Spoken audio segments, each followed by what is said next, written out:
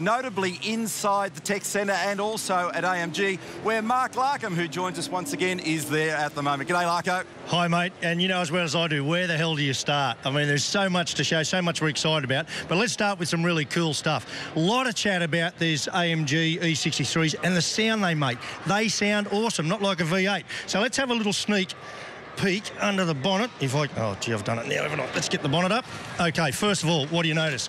How beautiful it all is. A little bit of German engineering there, but you'll know if you follow your V8s at all, we have eight butterflies on the engines. Look at these, two butterflies. Now, what they've got here is what's called a flat plane crankshaft as opposed to a normal or a conventional V8 one, which is not like a bit more like a cross where the, if you like, the conrods fire out at 90 degrees to each other. This is a flat plane crankshaft, which means they go out opposing each other. So it's much more like two four-cylinder engines bolted together. And the corresponding firing sequence of the spark plugs means the exhaust note sounds spectacular. Now, another thing I want to show you, um, we'll catch up with Lee Holdsworth, who is preparing himself in the car, is this thing they call the E cell that comes from Germany. Now, where he's sitting there is not actually in a seat.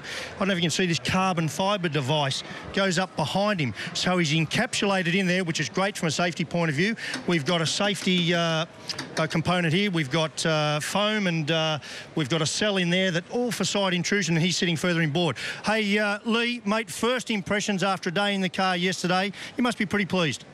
Yeah, it's not bad. Everything ran really smoothly, and I think the boys should be pretty pleased with themselves to uh, to have the car run faultlessly. Hopefully, fingers crossed, we can get it to the finish line and pick up a bundle of points.